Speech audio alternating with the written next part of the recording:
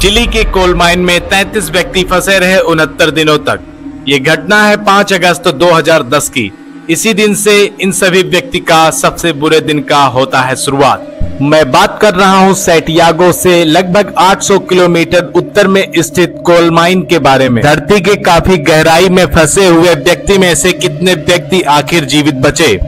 गहरी भूगत गुफाओं में फंस गए थे और संचार के लिए भी साधन के तरह से अलग अलग हो गए थे। फंसे हुए व्यक्ति के साथ संपर्क स्थापित करने में दिन लग गए, लेकिन उनसे संपर्क लगभग 17 दिन बाद हो पाया। 22 अगस्त 2010 को रेस्क्यू टीम ने एक छोटे से होल के माध्यम से व्यक्ति के साथ संपर्क स्थापित किया। आखिर ये सब कैसे संभव हो पाया? उनको कैसे पता चला कि इतने गहराई में पहुँचने के बाद भी जहाँ पर ऑक्सीजन का लेवल इतना कम होता है, वहाँ पर आखिर 33 लोग कैसे जीवित बच पाएँगे? फिर भी यहाँ पर आपातकालीन प्रबंधन की व्यवस्था की गई और तकनीकी विशेषज्ञों ने मिलकर एक सुरक्षित मार्ग बनाने के लिए योजना बनाई। फंसे हुए व्यक्तियों को बचाने के लिए विशेष ड्रिलिंग ऑपरेशन शुरू किया गया।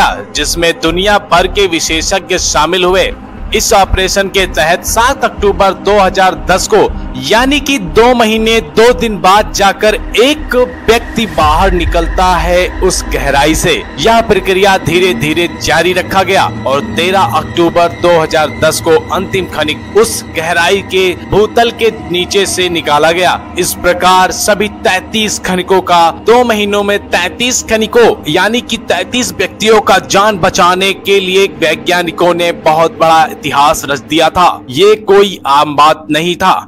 लगभग सत्तर दिनों में एक दिन कम 69 डेज़ लगभग लगे थे उन रेस्क्यू को, उन व्यक्ति को बचाने के लिए रेस्क्यू ने काफ़ी ज़्यादा मेहनत किया उस होल में फंसे हुए व्यक्ति को बचाने के लिए यहाँ तक कि उनको किसी को भी पता नहीं था कि भूस्खलन के बाद वहाँ पर उपस्थित व्यक्ति जीवित हैं। उन व्यक्तियों का आंकड़ा लेकर उन व्यक्तियों के नाम लिखे गए और एक बार उस ड्रिल मशीन के द्वारा वहाँ पर सुरंग बनाई गई और वहाँ से उन व्यक्ति के बारे में जानकारी लिया गया, लेकिन वहाँ से पहले राउंड में कुछ नहीं मिला। कुछ समय बाद वहाँ से आवाज़ आने लगी और वहाँ पर उपस्थित एक डॉगी बहुत तेज से भूखने लगा। यह घटना न केवल खनिकों के साहसिकता और धैर्य की कहानी है, बल्कि वैश्विक सहयोग और तकनीकी उपलब्धियों का प्रतीक भी माना जाता है। इस सफल रेस्क्यू ऑपरेशन ने दुनिया भर के लोगों को यह सिखाया कि कठिन परिस्थितियों में भी उम्मीद और सामूहिक प्रयासों से कोई भी समस्या हल किया जा सकता है।